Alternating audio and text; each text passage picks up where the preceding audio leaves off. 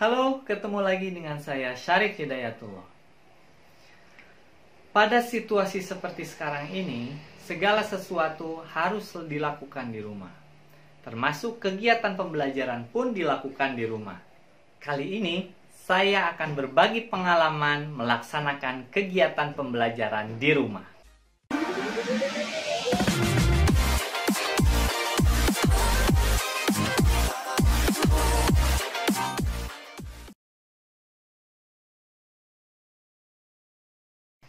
Sejak kegiatan pembelajaran dilaksanakan di rumah, sebagai seorang guru, saya mencari alternatif pembelajaran yang cocok untuk diterapkan kepada murid-murid saya. Pertama, untuk komunikasi dengan siswa, saya menggunakan WhatsApp Group. Sedangkan untuk menjelaskan materi kepada siswa, saya membuat video pembelajaran dan mengupload di YouTube, sehingga siswa-siswa saya bisa belajar dari sana. Setelah siswa mempelajari materi di YouTube, untuk evaluasi saya menggunakan Google Form.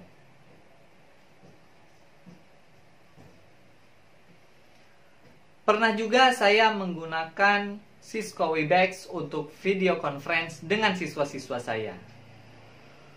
Oh ya, yang terpenting adalah model pembelajaran yang saya gunakan adalah model pembelajaran SOLE. Apa itu SOLE? SOLE adalah Self-Organized Learning Environment.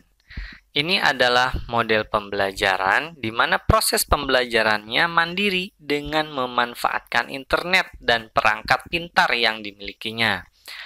Apa saja tahapannya? Yang pertama adalah big question. Kali ini saya membahas tentang COVID-19 sehingga pertanyaannya adalah apa itu COVID-19? Lalu tahapan kedua itu plan. Di sini siswa diberi waktu mencari informasi di internet, khususnya di rumah belajar. Yang ketiga, investigation. Di sini siswa mempelajari apa itu COVID-19, gejalanya, penyebarannya, dan cara pencegahannya. Dan yang terakhir adalah review. Di sini siswa mengerjakan kuis yang ada seputar COVID-19. Seperti yang sudah disebutkan tadi, salah satu sumber belajar saya menggunakan portal Rumah Belajar.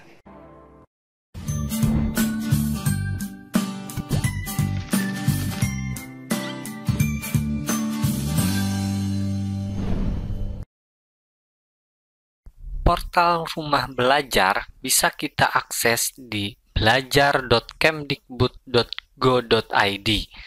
Nah, portal belajar ini adalah portal yang menyediakan bahan ajar serta fasilitas komunikasi yang mendukung interaksi antar komunitas. Dengan menggunakan rumah belajar, kita dapat belajar di mana saja, kapan saja, dengan siapa saja, dan seluruh konten yang ada di sini itu bisa diakses dan dimanfaatkan secara gratis. Fitur utama yang ada di rumah belajar itu ada yang pertama sumber belajar, lalu ada kelas digital, ada laboratorium maya, dan ada bank soal. Adapun yang akan saya gunakan kali ini adalah sumber belajar. Di dalam sumber belajar ini ada konten audio, video, dan juga konten web. Pada kesempatan kali ini, saya akan menggunakan konten web yang membahas mengenai COVID-19 atau COVID-19 yaitu aplikasi si tanggap.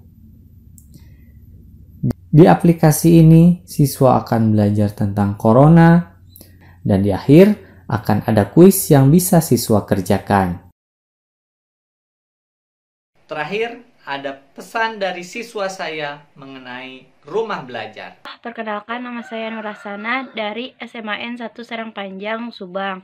Menurut saya sumber belajar dari rumah belajar itu sangat bagus sehingga kita tahu apa itu virus corona, ciri-cirinya, cara penyebarannya dan cara pencegahannya.